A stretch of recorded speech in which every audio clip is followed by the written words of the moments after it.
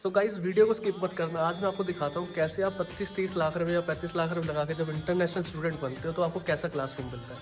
क्या क्या एसेसरी मिलती है क्या क्या इन्वायरमेंट रहेगा और फैसिलिटी क्या क्या मिलती है? आपको क्लासरूम का टूर कराऊँगा आज मैं। तो वीडियो के अंत तक जुड़े रहना। ये हर हर डेस्क पे देखो, हर डेस्क पे ना हमें स्विच दिया होता है। स्विच आप मतलब एसेसरीज अपने लैपटॉप फ़ोन चार्जिंग वगैरह लगा सकते हो स्विचेस के थ्रू चेयर्स जो एकदम क्लासिक अपनी फैसिलिटी है। इसके बाद ये हमारा बोर्ड आ गया। हर बोर्ड के ऊपर ये देखो प्रोजेक्टर्स है।